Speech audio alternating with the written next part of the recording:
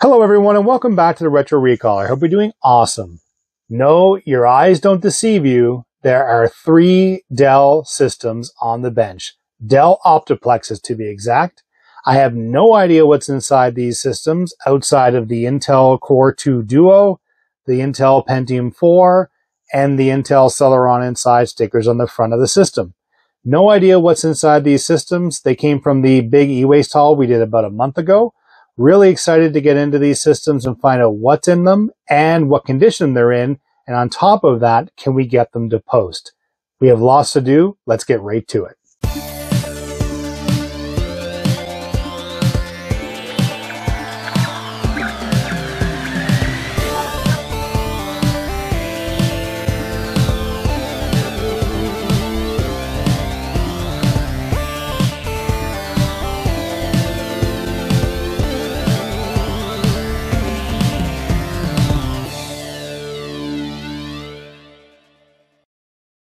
Okay, and everyone who watches the channel knows we'll keep a tally on which systems work, how many of these systems can we get at least posting, and kind of keep track of what we need to do to get them restored, because these are really good looking towers. I really enjoy the Dell lineups depending on the designs and the cases even at this era the, the form factors were made extremely heavy duty and well. That's one thing about these systems that I can actually say which is really good. So at the top we have Dell Optiplex 745 that's the model of this system sporting what looks like just a regular DVD ROM drive up here with additional optical expansion. We do have our trusty three and a half inch floppy drive, which seems to be a little loose in there, but we'll take a look as we go. We have two front audio connectors, one for our headset and one for our microphone, along with two USB in the front.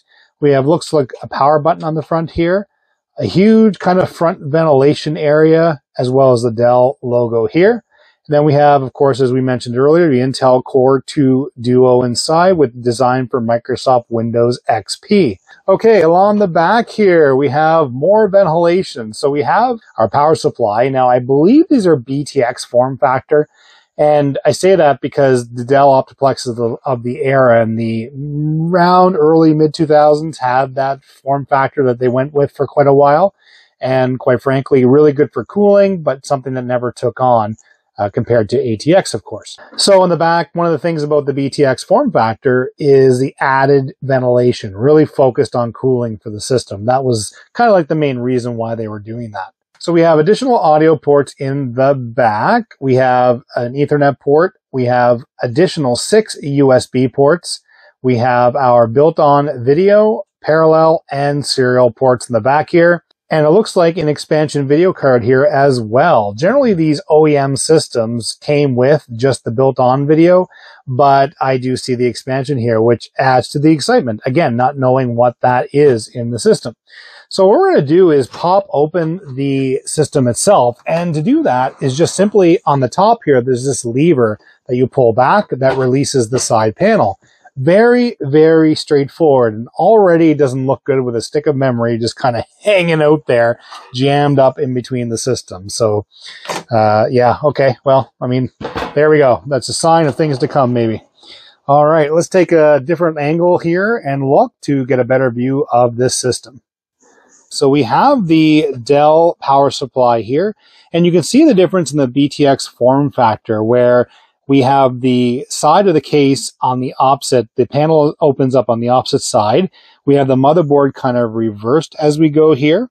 And, you know, it was done for, at least for cooling purposes. That was the main primary purpose. You can see this big kind of wind tunnel ventilation area that's just directed on the processing unit all the way back that just allows the ventilation to go through.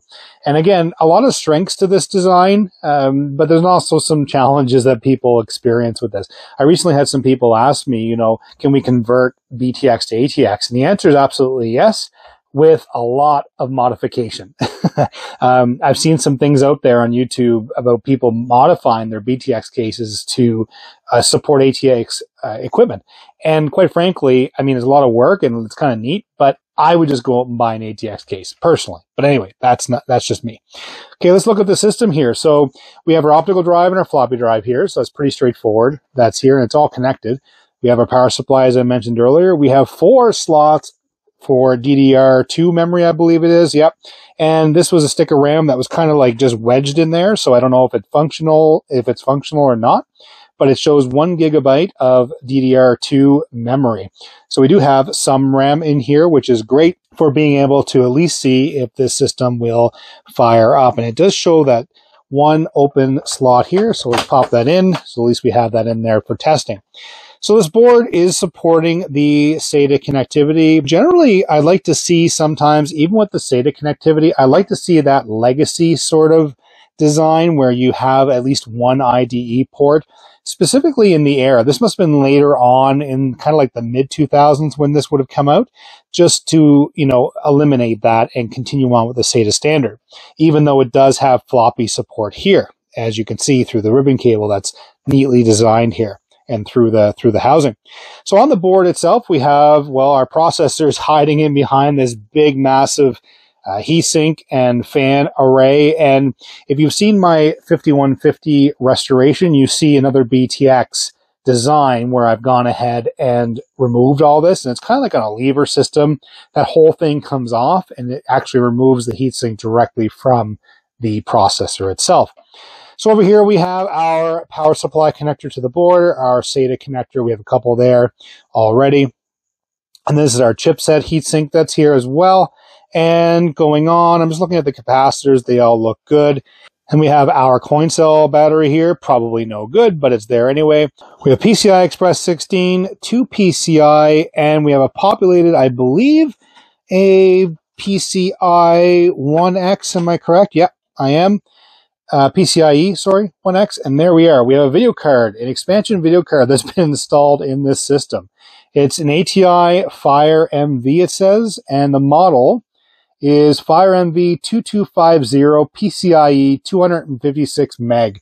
So a nice little surprise to have inside this system as, as far as when you get an OEM system from eWaste, it's nice to have some additional bonuses such as this.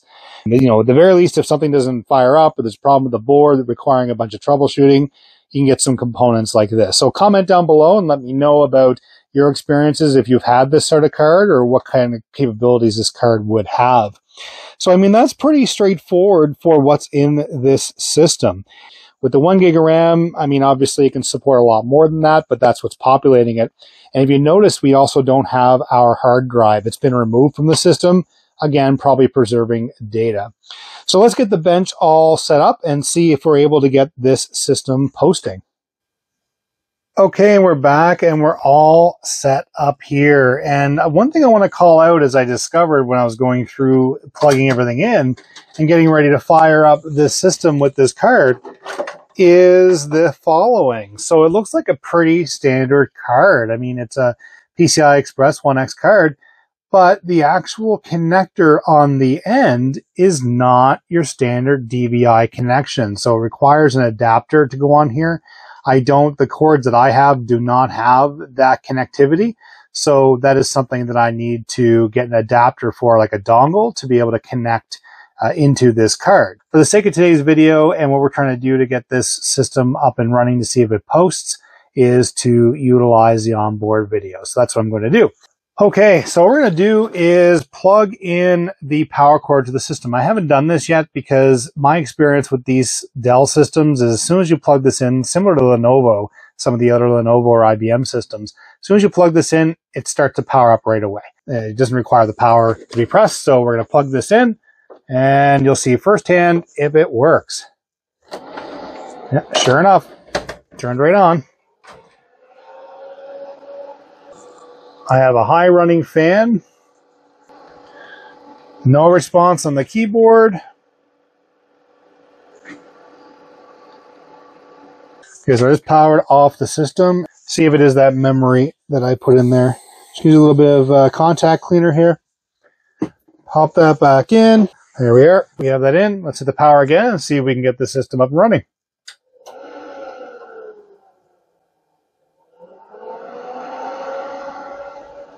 Nothing. So we're not getting any sort of postcode errors either. So we get my postcard out here.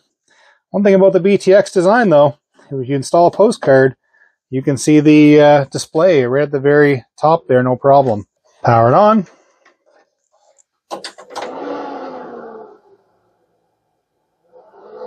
And nothing. Let's see if we can do some troubleshooting here and see if we can get the system up and running. Okay, after a bunch of troubleshooting here, I tried different memory, I tried unplugging a bunch of things from the board, I tried doing some testing, and all come back the same. It seems that the CPU or the processor is not coming out of reset, and that's one thing that the card is telling me here. So I turned the power on to the computer itself, it comes up and this is the reset light on the postcard and it's not going out. Normally that would go out when it tries to execute code and it's not doing that right now. So we have to figure that out. So what I'd like to do with this system, not right now, but take everything out of the computer completely and start to test everything. I mean, it's the voltages all look good on the postcard, but I'd like to test some other areas on the board. But for now, we're going to call this system down. Boo. Unfortunately, we're not able to get this system to post. So let's move on to system number two. And here we are with system number two. It's another Dell Optiplex. Surprise! it's an Optiplex GX620. And because it's a very similar form factor, it's going to have very similar features as we go through this. So we'll quickly do this. So we have a DVD ROM, and this time it has, looks like a DVD ROM and a CDRW combo drive in here, which is great to have, where the other one just had a CD-ROM, or sorry, a DVD ROM drive. We have the good old three and a half inch floppy again, two audio ports, two USB, the Dell uh, symbol here, as well as the Intel Pentium 4 hyperthreading processor badge, as well as design for Windows XP. Then we have our ventilation in the front here, and this seems to be even more dirty than the previous system. You can see some of that dust going on here. Let's take a look at the back here. Again, just a really like nice looking design. I always like the style of these cases. So we have the BTX power supply, I should say. We have additional tons of ventilation here in the back. We have our audio ports again. This time it's broken into three versus one shared. We have our Ethernet, six additional USB, which I believe is USB 2 in this era of systems. We have our LPT port, built-on video, and serial. And this time we do not have that expansion video card that's in here. Okay, I'm going to pop open the side here, and this time I opened up the right side. We'll move across the case and see what we have inside this system. All right, let's flip this around and get a better view. Okay, here we are. So we have our power supply again, and we have our optical and floppy, very, very similar to the other system that we had, except this time it looks like we have fully populated memory here, which is, I believe, DDR based on a Pentium 4 system. I'm not going to touch the RAM just yet. Just want to do a test to see, make sure everything works. And yeah, you can see all the dirt caked in inside here. It's just been sucking up dirt for years. Looks like it is a SATA hard drive that would have been connected here with the power and the data cables here that in the back. I really like the Dell design where, you know, they're kind of toolless design. You pop in the drive and then you slide it into the bay of just like that and it snaps in and you're good to go. That makes all the world of difference when you're working on systems day in and day out. Then we have our floppy ribbon cable, again, going over the housing here for the ventilation for the processor. And I imagine these would have given off quite a bit of heat back in the day. Being a Pentium 4 and all. Down here we have our PCI 16, two PCI ports, and a PCI 1X. And it's great to see that again in this system, having that expansion with PCI Express on a Pentium 4, allowing you to have more expandability in this system to be able to do more things with it, which gives you more options. Yeah, so I mean, it's pretty much straightforward from there. So I'm going to do now is I'm going to pop this system back up on the bench and get it all sorted out and see if we can get this system posting for us. Number two, here we go. Okay, here we are all set back up on the bench and with our beautiful system number two. So I'm going to pop in the postcard immediately just so we can see that fire up and see if there's any issues. And we're going to pop the power in right away because, again, like I said, Dell likes to start up right away as soon as you put the power in. So here we go. Well, that's a good sign or not. On and off.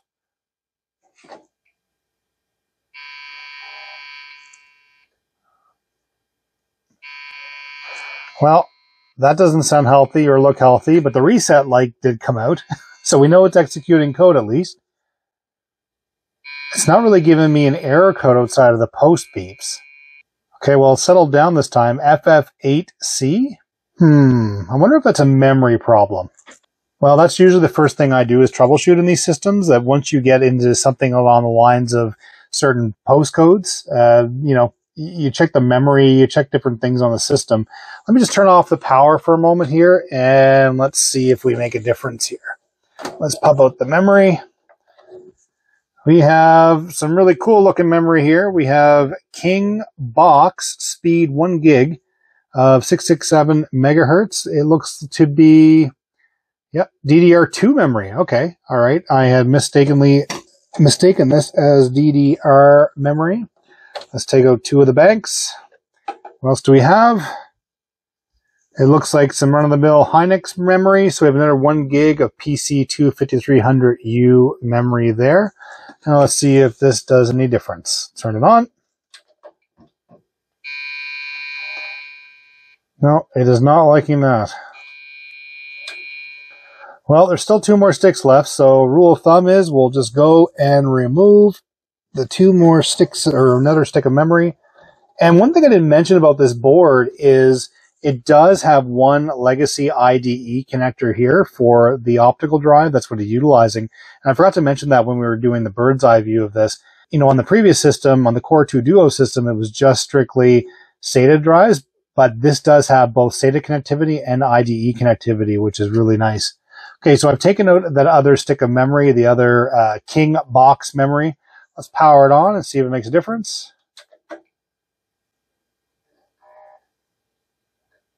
Well, oh, look at that. We have post.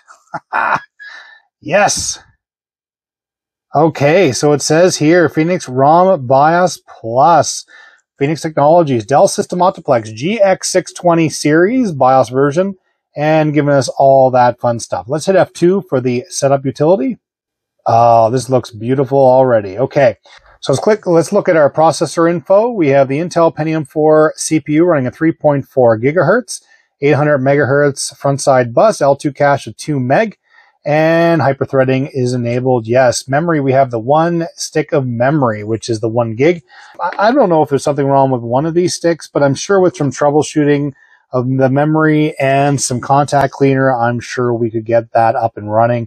If not, we have lots of spares, but it looks like it had four gigs of RAM installed. And I really love this interface where it gives you all the readout and all the memory and it shows, especially if you're running memory in tandem. So you want to make sure that they're, they're um, in dual channel mode.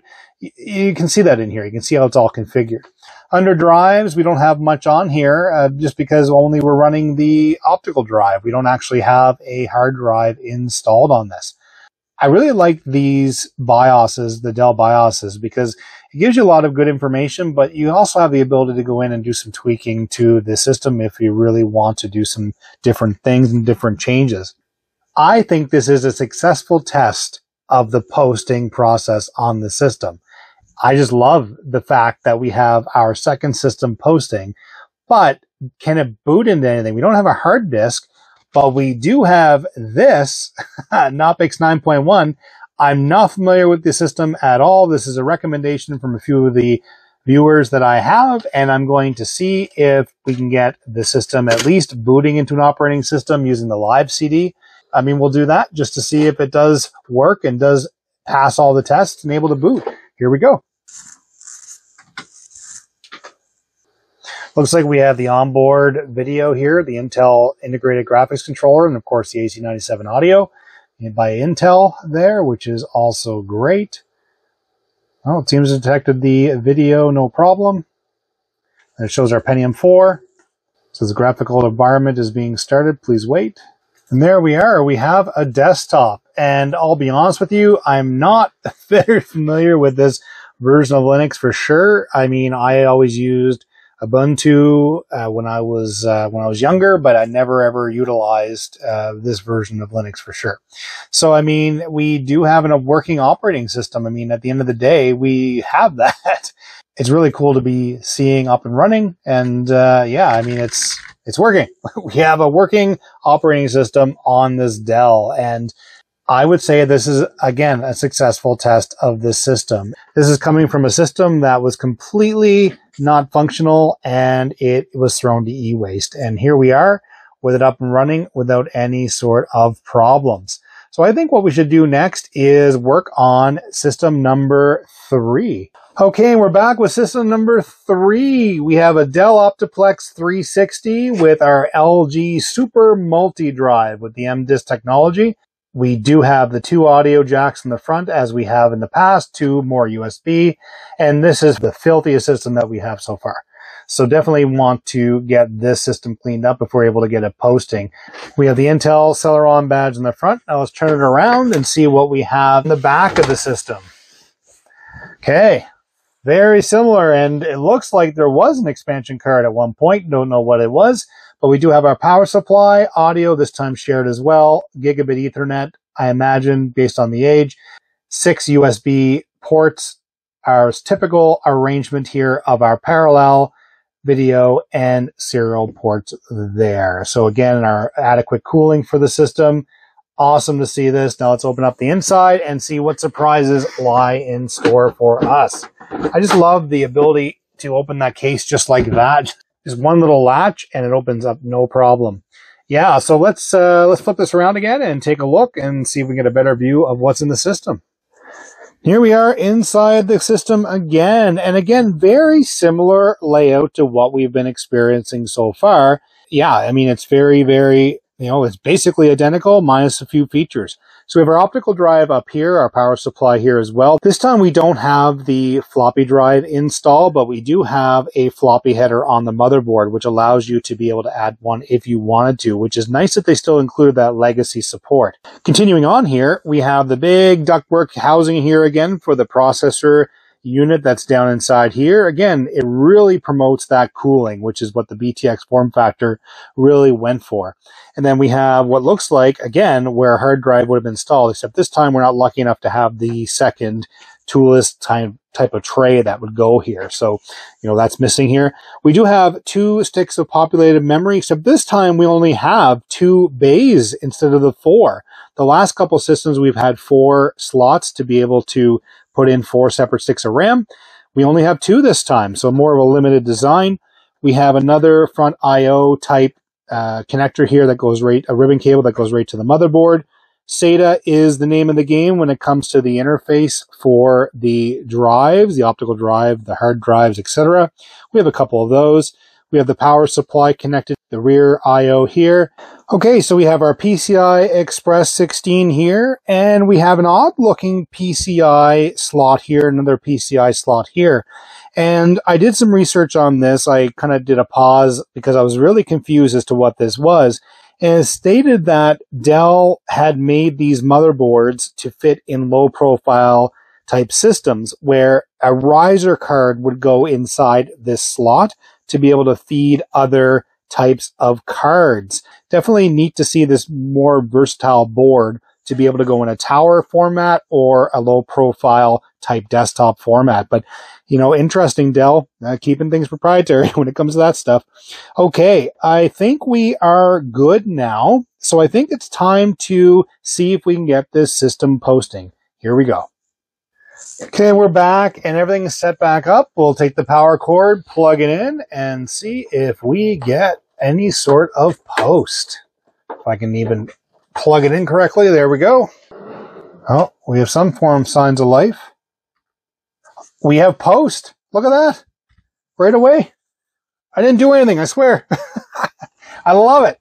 Okay, what do we have here for processor? We have a Pentium Celeron CPU running uh, 450, running at 2.2 gigahertz. So there we go. And uh, yeah, it looks like it has an 800 megahertz front side bus as well. A little less cache, obviously, than the one before. We have 512K. Let's go to memory. What do we have installed? So we have two two gigabyte dual running in dual channel mode SD or a DDR2 RAM. I think that's fantastic. No slouch. I mean, we only have two slots, but they're fully populated the date and time seems to be holding just fine. That's amazing. Great. Uh, let's keep on going here. So we have onboard devices, our integrated stuff there. What do we have for video memory? So it just says auto. Auto is what it's using for the video card. I'm not exactly sure how much memory we have allocated to the onboard graphics, but you do have the ability to put in a dedicated graphics card if required. So yeah, I mean, exciting. System number three, other than getting confused about what the extra length of that port is, it's working. All I did was turn it on and it just posted. System number three up and running. Now let's see if we'll boot into Knoppix.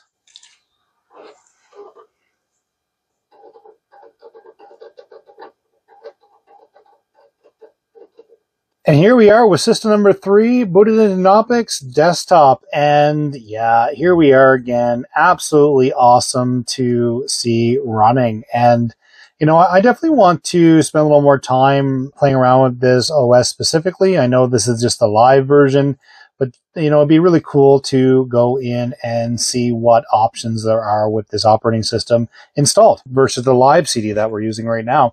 But I mean, let's not get lose sight of the fact that we have a system that was thrown to tossed e-waste, completely posting, completely booting into an operating system. All right. Now, number three, we give it a thumbs up, working absolutely wonderfully. And this system booted right away. So excited. Number three working, gets a thumbs up. Now let's go right to the outro. And we're back all set up on the bench with our beautiful three Dell Optiplexes all in the beautiful BTX form factor. And I call it beautiful because I still think it's unique design. I think it's pretty cool to be able to experience these on the bench once in a while, especially after working on ATX type form factors all the time. Now, as a recall, we have the very first system, which is our Pentium, uh, sorry, our Intel Core 2 Duo system that had that ATI Fire MV video card in there with that different type of connector that I'm going to have to find an adapter for in the PCI 1X interface. And so that system there, unfortunately, it just sits there and hangs. It doesn't actually come out of reset. Courtesy of the postcard that we have here, we are able to see that. It's going to have to go through some more troubleshooting to find out what's wrong with the system. I'm not going to give it up on it just yet. I think that there's definitely some life there somewhere. There's a reason why it's not coming out of reset. So be something for us to investigate in a future video. On system number two, we did have a similar issue, except the postcard was going a bit crazy there, showing us a whole bunch of different uh, numbers and information. But eventually we figured out that it was one of the three RAM sticks that were causing the problem. And on top of that, we were able to boot into Knoppix no problem as well. So we were able to get this system posting after a little bit of troubleshooting and get the system going. So definitely a candidate for a restoration for sure. And then lucky number three, we have our Dell Optiplex 360 Intel Celeron this time. I forgot to put in the postcard at the time. However, we were able to get it posting absolutely no problem without any troubleshooting and get Knoppix installed, or I should say Knoppix booted, no problem on this system. And this is the dirtiest. so I, I, definitely all three have merit. These two specifically definitely have the ability to do full restorations on them and get them looking as if they were new again, which I would love to do.